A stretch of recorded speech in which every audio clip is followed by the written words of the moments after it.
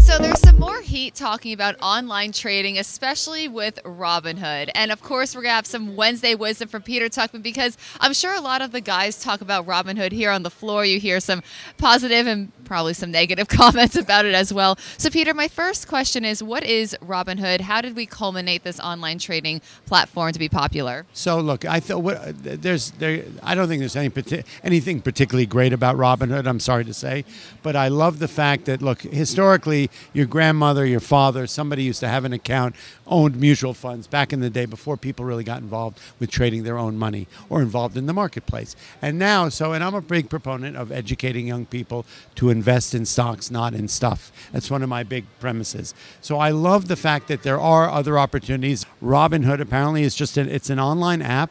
It's a free commission trading thing for people who have some certain savviness with the market, right? It's not robotic financial advising. It's basically a shortcut way through an app without brick and mortar to invest in the market, right? So there's no advising, there's nothing like that. They do have a couple different opportunities.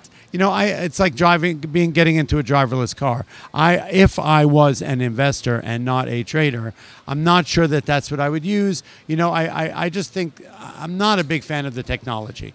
Now, I heard there's some cracks happening in Robinhood. What did you find out, Peter?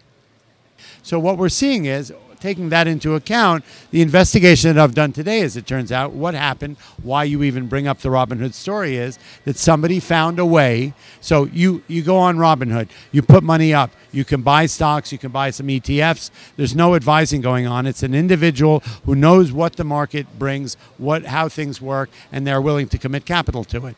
What somebody did find out is there's a way to hack Robinhood and to get margin. What does margin mean for the people who don't know? That means if I put up $2,000, one way normally legally you can invest 2000 put up $2,000, you can buy through $2,000 worth of stock.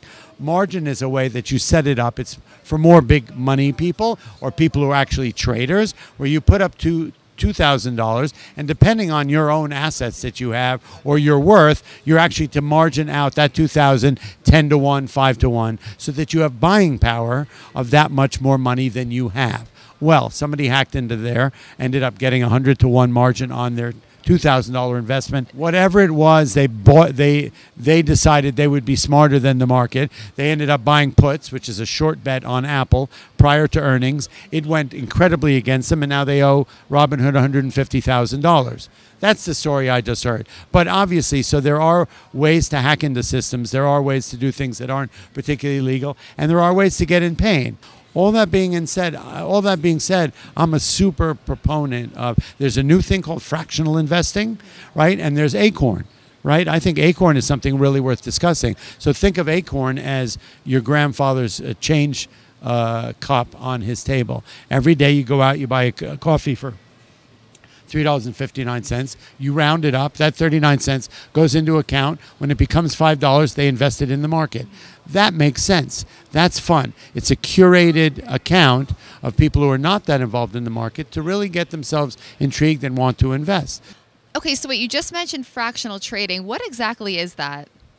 Fractional investing, give you the opportunity to invest $50 in the market in a curated fund that will give you 5 or $10 worth of Amazon, Facebook, Google. These are $1,000 stocks. You buy a sliver, a fraction of the stock.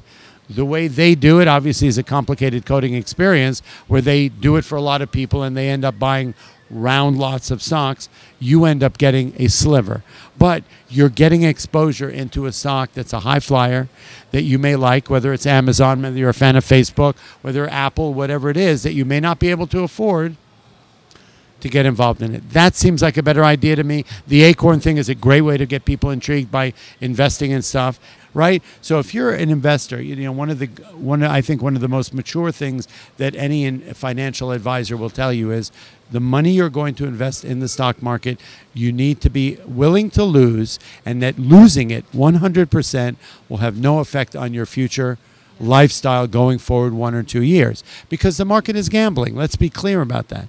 If you can't afford it twice, you can't afford it at all. In the words of Jay Z, isn't that cool? Well, thank you. Jay Z now. Yes. Exactly. Giddy up. Thank you so much, Peter. So that wraps up some Robinhood gossip here on the New York Stock Exchange floor. That's Peter Tuchman with us every Wednesday.